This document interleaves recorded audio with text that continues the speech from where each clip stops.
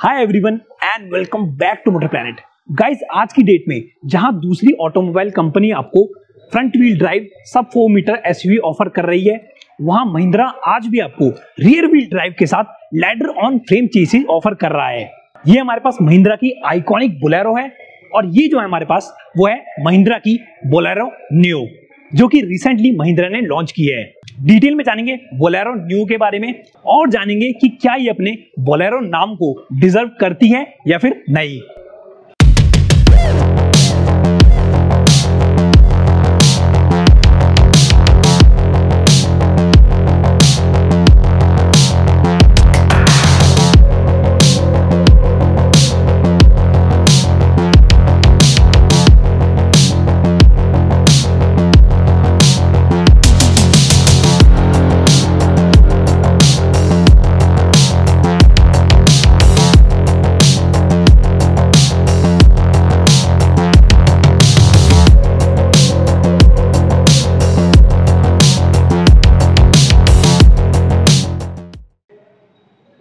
Okay so guys ये Bolero new का जो अभी हमारे पास वेरिएंट है, ये है इसका एन टेन वेरियंट इससे नीचे आपको जो वेरिएंट्स मिलते हैं इसके, वो मिलते हैं एन एट एंड उससे नीचे एन फोर इसकी एक्स शोरूम कॉस्ट आपको अभी अपनी स्क्रीन पे देखने को मिल रही होगी। हमेशा की तरह वीडियो की स्टार्टिंग करेंगे इसकी कीज से। तो कीज आपको बोलेरो न्यू की कुछ इस टाइप की मिलती है। ये आपको मिलता है लॉक बटन यहाँ पे आपको मिलता है इसका अनलॉक बटन और ये है इसका अलार्म का बटन बात करेंगे इसके इंजन की तो मैं एक बार आपको इसका इंजन चेकआउट करा के दिखाता हूँ। सो गाइस बोलेरो न्यू में आपको मिलता है 1.5 लीटर का टर्बो चार्ज डीजल इंजन जो कि महिंद्रा का एम हॉक 100 डीजल इंजन है। ये 1.5 लीटर का डीजल इंजन जो है, वो प्रोड्यूस करता है around 100 bhp of power and 260 newton metres of torque साथ ही साथ महिंद्रा ने इसमें VGT टर्बो चार्जर्स का भी यूज़ किया है। जिसकी वजह से लोअर डाउन लैग जो होगा इस इंजन का, वो काफ़ी हद तक रिड्यूस किया जा सकता है। सो so बात करें इसके फ्रंट प्रोफ़ाइल की तो फ्रंट में जो आपको हेडलाइट्स मिलती है इसकी, उसमें एंटन वेरिएंट में ऊपर दिए गए हैं एलईडी डीआरएल्स उसी के साथ इंटीग्रेटेड यहाँ पे इंडिकेटर्स और इसके हेलोजन लैंप्स हेडलाइट्स के नीचे देखेंगे तो यहाँ पे आपको मिलेंगे इसके फॉग लैंप्स जो कि हेलोजन यूनिट है। अब ग्रिल की बात करें तो ग्रिल ये आपको आइकॉनिक बोलेरो टाइप की लगती है, जो कि अभी हमारे सामने है। यहाँ पे आप चेकआउट कर सकते हैं कि इसकी ग्रिल काफ़ी हद तक आपको क्लासिक बोलेरो की याद दिलाएगी। क्रोम से फिनिशिंग दी गई है यहाँ पे, जो कि इसे थोड़ा सा अप मार्केट लुक देती है। ये तो बात हुई इसकी फ्रंट प्रोफ़ाइल की, अब हम चलते हैं इसकी साइड प्रोफ़ाइल में। सो गाइस बात करें इसकी साइड प्रोफ़ाइल की साइड में आपको मिलते हैं सबसे पहले इसके 15 इंचेस के एलॉय व्हील्स व्हील आर्च के साइड में देखेंगे तो यहाँ पे आपको मिलती है इसकी बॉडी क्लैडिंग जो कि इसे थोड़ा टफ लुक देती है। ए पिलर के नीचे आपको इंडिकेटर्स मिलते हैं इसके। और इंडिकेटर्स क्योंकि यहाँ पे दिए गए हैं, इस वजह से ओ पे आपको इंडिकेटर्स नहीं मिलेंगे। ये जो ओ है, वो इंटरनली एडजस्टेबल है। ब्रेकिंग की बात करें गाइस तो फ्रंट में आपको इसके मिलते हैं डिस्क ब्रेक्स एंड रियर में आपको मिलते हैं इसके ड्रम ब्रेक्स बात करें अगर इसके डोर हैंडल्स की तो कुछ इस टाइप के आपको डोर हैंडल्स मिलते हैं ब्लैक कलर में। और ये है इसका इंटीरियर जो कि मैं आपको अभी थोड़ी देर बाद चेकआउट कराऊँगा। अब कार में एंटर करने के लिए हमें यहाँ पे एक फुट स्टेपर दिया गया है, जो मैं यहाँ से ऐसे पैर रख के इसमें एंटर कर सकता हूँ इजीली साइड प्रोफ़ाइल की बात करें तो यहाँ पे भी आपको इसकी बॉडी क्लैडिंग मिलती है और साथ ही साथ नीचे की साइड भी आपको यहाँ पे बॉडी क्लैडिंग का यूज़ किया गया है। अगर बात करें इसके फ्यूल लीड की तो फ्यूल लीड आपको दी गई है इसकी राइट साइड में, जो कि आपको यहाँ पे दी गई है। बड़ी साइज़ की आपको यहाँ पे फ्यूल लीड देखने को मिल रही है। अब हम चलते हैं इसकी रियर प्रोफ़ाइल में। तो रियर में आपको जो टेल लैंप्स मिलती है इसकी, वो नॉर्मल एक बल्ब है एलईडी नहीं है। नीचे की साइड आपको यहाँ पे टर्न इंडिकेटर्स दिए गए हैं और साथ ही साथ रिवर्स लाइट भी आपको यहाँ पे मिलती है। डोर्स का हैंडल यहाँ पे दिया गया है। ओपन में यहाँ से कर सकता हूँ उसे। 385 लीटर्स का यहाँ पे आपको मैसिव बूट स्पेस मिलता है। बट वो बूट स्पेस तभी आपके लिए यूजेबल होगा जब आप इन रो को डाउन कर देंगे। अभी ये लास्ट की रो इसके ऊपर है तो अब हम चलते हैं इसके अंदर। ये है आपको फुट स्टेपर और यहाँ से मैं गया अंदर। इजीली मैं यहाँ पे एंटर हो चुका हूँ। स्पेस यहाँ पे बात करें तो दो लोगों के लिए परफेक्ट है। अंडर द सपोर्ट ऑब्वियसली यहाँ पे हमेशा की तरह कमी है। और मेरी हाइट जैसा पर्सन भी फाइव फीट नाइन इंच वाला पर्सन भी, यहाँ पे आराम से अपनी लॉन्ग जर्नी पे एक से दो आवर्स तक बैठ सकता है डिस्पाइट की यहाँ पे आपको अंडर द सपोर्ट कम मिल रहा है। बाकी आप चाहे तो इस सीट्स को लिफ्ट भी कर सकते हैं, इसके बूट स्पेस को बढ़ाने के लिए। यहाँ से इसका सीट्स हो गई ऊपर और यहाँ पे हो गया इसका बूट स्पेस थोड़ा सा एनहेंस बट फ्रेंकली स्पीकिंग अगर आप इस कार को परचेज कर रहे हैं तो आप सीट्स को ऊपर करेंगे क्यों? आप सेवन सीटर के यहाँ पे मज़े लेंगे और लॉन्ग जर्नीज पे जाएँगे।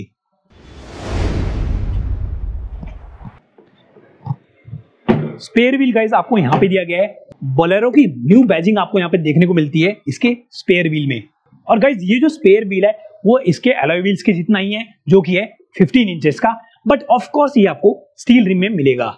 रियर में आपको इसके पार्किंग सेंसर देखने को मिल रहे हैं। यहाँ पे बम्पर पे एक बात करें अगर इसके ड्राइव ट्रेन की तो बोलेरो न्यू एक rear wheel drive sub four metre SUV है। इस चीज़ का पता आपको तब लगेगा जब आप कार की अंडर बॉडी चेक करेंगे और रियर में आपको उसका डिफरेंशियल देखने को मिलेगा। इसके अलावा गाइज़ महिंद्रा अपनी बोलेरो न्यू में मल्टी टेरेंट टेक्नोलॉजी भी आपको ऑफ़र करता है। जिसे हम एमएलडी के नाम से भी जानते हैं, यानी मैकेनिकल लॉकिंग डिफरेंशियल, जो कि तब बहुत ज़्यादा यूज़ में आता है जब आप अपनी कार से ऑफ़ रोडिंग करते हैं या ज़्यादातर उसे रूरल एरियाज़ में ड्राइव करते हैं। बट ये जो मल्टी टेरेंट टेक्नोलॉजी, यानी एमटीटी फीचर है, वो आपको सिर्फ़ महिंद्रा बोलेरो न्यू के एन टेन ऑप्शनल वेरिएंट में अवेलेबल है। इसके अलावा गाइज़ बोलेरो न्यू बेस्ड है सेम उसी प्लेटफॉर्म पे जिसपे बेस्ड है महिंद्रा की स्कॉर्पियो एंड थार डिफॉगर आपको यहाँ पे मिलता है और साथ ही साथ रियर वाइपर एंड वॉशर भी आपको इस एंटेन वाले वेरिएंट में दिया गया है। ये आपको वाइपर मिलता है, ये वॉशर दिया गया है। ओके सो गाइज़ ये था बोलेरो न्यू का एक एक्सटीरियर का प्रोफ़ाइल अब हम चलते हैं इसकी फ्रंट रो में और चेकआउट करते हैं कि वहाँ पे क्या क्या फीचर्स आपको देखने को मिलते हैं। ओके सो गाइज़ अभी आ गए हम बोलेरो न्यू के इंटीरियर में। यहाँ पे आप देख सकते हैं कि महिंद्रा का आपको यहाँ पे स्टेयरिंग व्हील देखने को मिलता है। जैसे कि आपको महिंद्रा की दूसरी कार्स में भी मिलता है। लेफ़्ट साइड में आपको यहाँ पे मिल रहे हैं इसके। ऑडियो एंड वॉइस कंट्रोल्स के बटन एंड राइट साइड में आपको क्रूज कंट्रोल्स भी दिया गया है इस एंटन वेरिएंट में। इंफोटेनमेंट सिस्टम की बात करेगा इस तो आपको यहाँ पे सेवन इंच का टच स्क्रीन इंफोटेनमेंट सिस्टम देखने को मिलेगा। इससे नीचे जो भी वेरिएंट आएगा N eight and N four उसमें आपको टच स्क्रीन नहीं मिलेगा देखने को। हज़ार लाइट आपको यहाँ पे मिल रही है। एसी के कंट्रोल्स यहाँ पे आपको देखने को मिल रहे हैं। गाइज़ इसमें आपको एसी में एक इको मोड भी दिया गया है। इस बटन को हम प्रेस करके एसी के इको मोड को ऑन कर सकते हैं। ये बात करते हैं हम ट्रांसमिशन की। तो गाइज़ बोलेरो न्यू में आपको करेंटली फाइव स्पीड का मैनुअल ट्रांसमिशन ही देखने को मिलता है। आपको याद होगा कि इससे पहले आपको इसकी प्रेडिसेसर जो थी, वो थी T U V three double O उसमें आपको एक ऑटोमेटिक ट्रांसमिशन भी मिलता था। बट करेंटली महिंद्रा ने बोलेरो न्यू में इस ऑटोमेटिक ट्रांसमिशन को नहीं दिया है। इस वजह से अगर आपको बोलेरो न्यू लेनी है तो आपको सिर्फ़ डीजल इंजन के कॉम्बिनेशन के साथ यही फाइव स्पीड का मैनुअल ट्रांसमिशन मिलेगा। यहाँ पे आपको स्टोरेज प्लेसेस दिए गए हैं काफ़ी सारे। ये आप चेकआउट कर सकते हैं यहाँ पे। पावर विंडोज़ के कंट्रोल जैसे कि महिंद्रा की कार्स में होते हैं, ये मैंने करा इसे प्रेस और यहाँ से होगी इसकी विंडोज़ डाउन अगेन आपको यहाँ पे थोड़ी सी स्टोरेज प्लेसेस दिए गए हैं। यहाँ पे भी आपको बॉटल होल्डर और कप होल्डर्स दिए गए हैं। एक अच्छी चीज़ ये है कि यहाँ पे आपको आमरेस्ट देखने को मिलती है तो यहाँ पे आप आराम से अपना हैंड को प्लेस करके गियर्स को शिफ्ट कर सकते हैं। लॉन्ग जर्नीज पे ज़्यादा थकावट नहीं होगी यहाँ पे।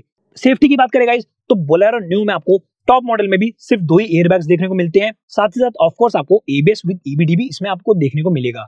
आईआरवीएम की बात करेगा इस तो ये आपको आईआरवीएम देखने को मिल रहा है और ये आपको मैनुअली एडजस्टेबल है। को ड्राइवर सीट में आपको मिलेगा इसका वैनिटी मिरर ड्राइवर सीट में आपको सिर्फ़ टिकट होल्डर मिलता है। इंस्ट्रूमेंट क्लस्टर आपको कुछ इस टाइप का देखने को मिलता है गाइस जो कि लाइट की वजह से काफ़ी इजीली विजिबल है। लेफ़्ट साइड में आपको यहाँ पे मिलता है इसका टैकोमीटर एंड राइट साइड में मिलता है आपको इसका स्पीडोमीटर मिडिल में आपको एमआईडी मिलता है। स्पीकर सिस्टम की बात करें गाइस तो इसमें आपको फोर स्पीकर एंड दो ट्विटर्स देखने को मिलते हैं। इससे नीचे जो आपको वेरियंट आता है एन एट उसमें भी सेम यही चीज़ है फोर स्पीकर एंड दो ट्विटर्स ओआरवीएम्स के कंट्रोल्स यहाँ पे आपको दिए गए ये आपको ओआरवीएम्स यहाँ से आप कंट्रोल कर सकते हैं। बट इसमें आपको ऑटो फोल्डिंग का ऑप्शन नहीं दिया गया सिर्फ़ आप इन ओआरवीएम्स को एडजस्ट कर सकते हैं। ओके सो गाइज़ मैं आ गया हूँ बोलेरो न्यू की रियर सीट में। यहाँ पे आप देख सकते हैं सीट कंफर्ट बहुत ही ज़बरदस्त है। शोल्डर रूम इतना ज़्यादा है कि शायद मेरी हाइट का यहाँ पे पर्सन अगर बैठे या मेरी बॉडी स्टाइल का पर्सन बैठे तो मेरे ख्याल से यहाँ पे चार लोग भी आप बैठ सकते हैं। बट ऑफकोर्स ये चार लोगों के लिए नहीं बनी है। सीट आपको यहाँ पे तीन के लिए परफेक्ट है। यहाँ मिडिल में जैसे ही मैं आता हूँ तो यहाँ पे आपको ना कोई फ्लोर पे ट्रांसमिशन टनल देखने को मिल रही है, ना ही फ्लोर पे कोई और हम्प देखने को मिल रहा है। सीट बिल्कुल कंफर्टेबल है। अब ओवरऑल गाइस जो इसकी कैबिन एम्बियंस की बात करें तो बोलेरो क्लासिक या स्कॉर्पियो आप किसी को भी ले लो। एक चीज़ महिंद्रा की कार्स में जो कॉमन है, वो ये है कि आपको इनके कैबिन में कभी भी क्लस्ट्रोफोबिक फील नहीं होता। ये आपको मिलता है इसका लेग रूम जो कि आप देख सकते हैं, काफ़ी ज़्यादा है। और अगर आपकी हाइट सिक्स फीट भी होगी तो भी आपको यहाँ पे बैठने में कोई इशू नहीं होगा। बाकी इसकी सेकंड रो से रियर का जो सीट्स है, वो कुछ इस टाइप की देखने को मिलती है, जो कि मैंने आपको ऑलरेडी चेकआउट की है। इसे मैंने अभी क्लोज किया है बट यहाँ से आप इसे ओपन कर सकते हैं। आमरेस्ट आपको यहाँ पे देखने को मिलती है इसकी सेकंड रो में, और इस आमरेस्ट में आपको कोई भी कप होल्डर देखने को नहीं मिलता है। कैबिन की लाइट्स यहाँ पे दी गई है। ये जो लाइट्स है, वो नॉर्मल बल्ब है एलईडी नहीं है। बाकी डोर्स पे आपको यहाँ पे मिलेंगे इसके। पावर विंडोज़ की कंट्रोल्स ये आपको डोर लॉक्स मिलता है ग्रैब हैंडल स्पीकर सिस्टम जैसे कि मैंने आपको बताया फोर स्पीकर दो ट्विटर्स मिलते हैं इसमें आपको। सो so अब बात करते हैं एक मेन डाउट की बोलेरो न्यू के आने के बाद, जो क्लासिक बोलेरो है, वो बंद हो जाएगी या फिर नहीं? उसके लिए हम बात करने चाहेंगे महिंद्रा के सेल्स पर्सन से, जो कि हमें बेटर गाइड कर पाएँगे इस चीज़ पे। महिंद्रा, नमस्कार। मेरा नाम मोहम्मद अनफाल है और मैं कॉन्सेप्ट महिंद्रा में वर्किंग हूँ। As a corporate sales consultant नहीं नहीं नहीं देखिए ऐसा कुछ नहीं है जो हमारी क्लासिक बोलेरो जैसे चलती हुई आई है और हम्म। ऐसे ही चलती रहेगी वो कोई भी प्लान नहीं है महिंद्रा का कि उसको बंद करे. वो जैसे सेल में थी अभी भी ऐसे ही सेल में रहेगी और ये जो बुलेरो नियो है ये थोड़ा एडवांस वर्जन है तो दोनों गाड़ियाँ हम साथ के साथ उसको सेल करेंगे। सेल करेंगे। गाड़ी के इंजन के बारे में एमहॉक इंजन है जो कि 1.5 लीटर का इंजन है। की पावर 100 bhp है और 260 सिक्सटी का टॉर्क है। तो अगर हम परफॉर्मेंस की बात करें तो पावरफुल है गाड़ी। किसी भी ट्रेन पे आप ले जाके उसको यूज़ कर सकते हैं। क्या है आप हिल एरिया पे जाएँ क्या है प्लेन पे चलाएँ। दोनों में आपको काफ़ी अच्छी परफॉर्मेंस देगी गाड़ी। ओके ओके ये भी पूरी टफ गाड़ी बनाई है एक तरह से ठीक है। हम्म। तो इस चीज़ को लेके कंपनी ने काफ़ी ध्यान रखा है कि पुरानी जो बलेरो थी उसका नाम बरकरार रखा है। ठीक है कि क्योंकि जो नई बलेरो आई है तो वही परफॉर्मेंस उससे बेहतर परफॉर्मेंस आपको इस गाड़ी के अंदर मिलेगी। ठीक है गाइज़ तो आपको कोई भी डाउट्स है सर अपना नंबर आप एड्रेस बता दीजिए शोरूम का कुछ। हाँ ये मैं हूँ concept automobiles private limited A nine sector two address है नोएडा में। मेरा नाम मोहम्मद अनफाल है। नंबर आप एक बार आप डिस्क्रिप्शन में चेक कर सकते हैं वहाँ पे। ओके गाइज़ नंबर जो है सर का मैं डिस्क्रिप्शन में ऐड कर दूँगा। कोई भी डाउट हो सर से डायरेक्टली कॉन्टैक्ट करें और यहाँ से आप चाहे तो टेस्ट ड्राइव भी कर सकते हैं। अगर आप दिल्ली एनसीआर रीजन में रहते हैं तो। बाकी आपको वीडियो कैसी लगी आप हमें नीचे दिए कॉमेंट सेक्शन में बता सकते हैं। एक बार सर सभी से रिक्वेस्ट रहेगी कि चैनल को सब्सक्राइब करें और लाइक करें। Thank you thank you so much